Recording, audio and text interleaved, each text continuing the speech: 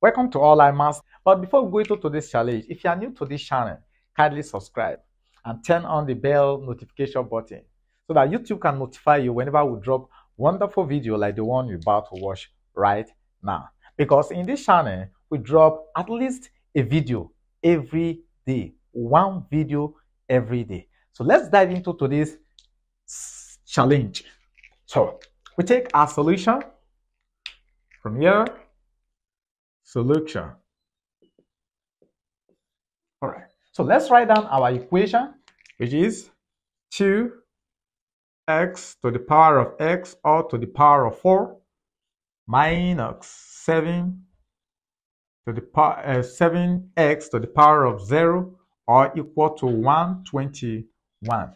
What is x to the power of 0? Because according to the law of indices, it says that if you have x to the power of 0 is equal to 1. So anything to the power of 0 is 1. Okay, so automatically this can be rewritten as x to the power of 2x to the power of x or to the power of 4 minus 7 times 1 or equal to 121. And 7 times 1 is 7. So this gives us 2x x to the power of 4 minus 7 equal to 21. 121, please. Equals to 121.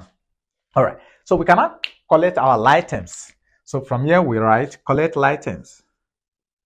Collect like terms. So if we collect like terms, we send this 7 to this other side to meet the constant term.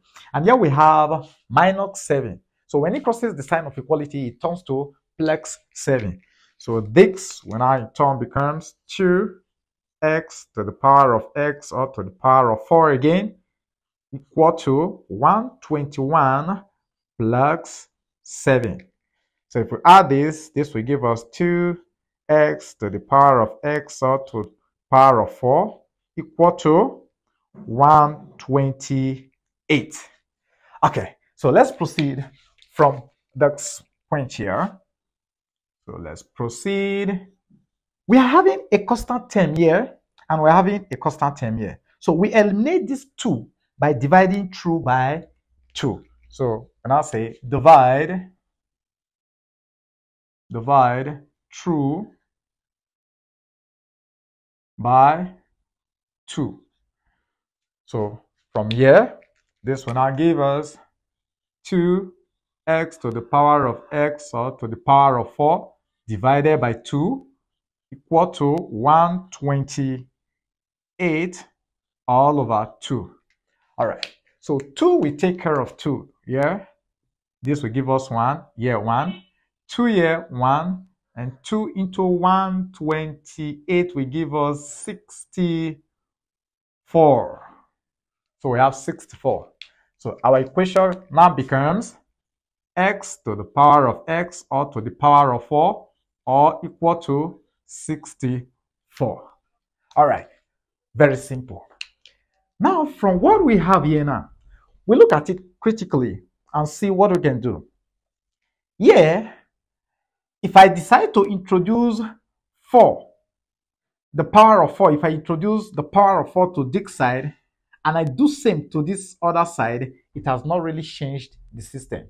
So I will do that by saying, here we have x to the power of x or to the power of 4 in bracket or to the power of 4.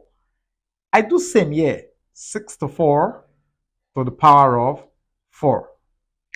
Simple. Okay. So now that I have this, this is a power. This is also a power.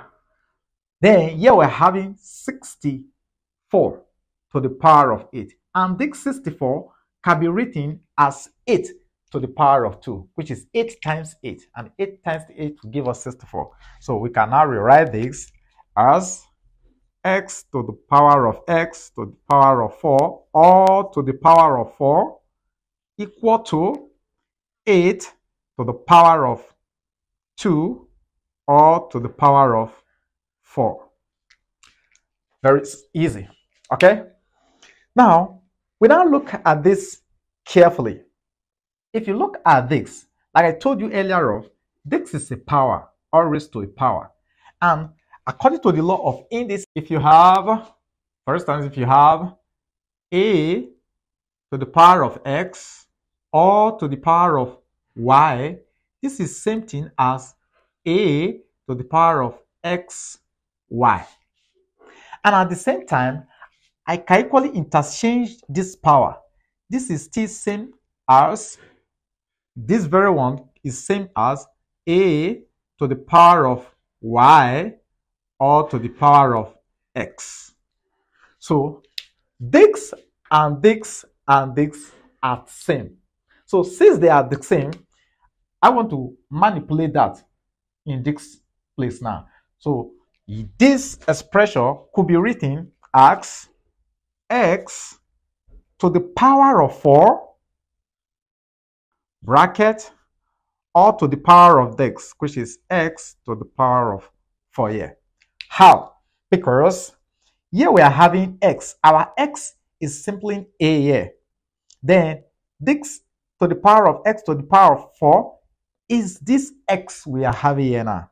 And all to the power of 4, which is this y we are having here now. Okay, so if I interchange this to become a, which is our main x, the power x here, which was inside, is the one that I brought out. And y that was outside is one I brought in now. So our y is our now our, is now our 4 and x to the power of 4 which was inside is now out here.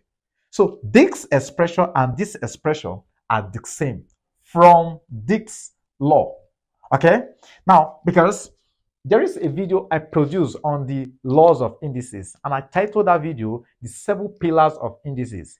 It's showing up here. Okay? It's showing up here. You can equally watch that video to know what we are dealing with here, what is actually happening here. Okay? So let's proceed. Now that we have this, this now becomes, look at it here. We also apply this law again, that when you have a number to a power and further raised to another power, multiply the two powers. So if you multiply that, this will now give us 8 to the power of 8. From here, if you look carefully, this now becomes x to the power of 4 or to the power of x to the power of 4 equal to 8 to the power of 8. Something special has happened here. But at the same time, before we continue again, if you are new to this channel, kindly subscribe and turn on the bell notification button so that YouTube can notify you whenever we drop wonderful video like the one you are watching right now. Okay, so let's go back to the board.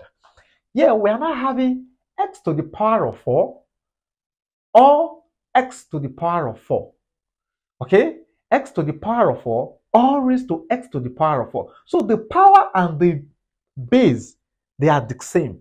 Here we are having the power and the base, they are the same. So we can equate both of them. So we can equally say x to the power of 4 equal to 8 or x to the power of 4 equal to 8. It's a trick, okay? So from here, we can now write this. This now implies that x to the power of 4 equal to 8. All right. So here we are having s to the power of 4. So we take the fourth root of both sides. Okay. So let's write it down. Say here, take the fourth root, the fourth root of both sides, of both sides. So if we do that, this will now become the fourth root of x to the power of 4 equal to the fourth root of 8. At the same time, we have to introduce plus minus to this. Okay, so the fourth root here will take care of this fourth power. And therefore, we are now left with x is equal to plus minus the fourth root of it. This is the solution to this exponential QED. If you've learned something special, something great from this survey, drop it in the comment section. Okay. Or you have a question with regards to the survey, also drop it in the comment section. If you gain value from this, give us a thumbs up, give the video a thumbs up, or you can say thanks, Jay. Once again, this is Online Maths TV, where we drop videos every day. Thanks for being there. Online Maths TV loves you. Jakes loves you.